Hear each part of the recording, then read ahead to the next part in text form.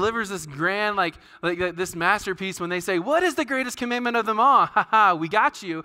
And Jesus is like, No, you didn't really, because I'm going to sum them up into two of the greatest commandments out of all, which points to your purpose love God and love others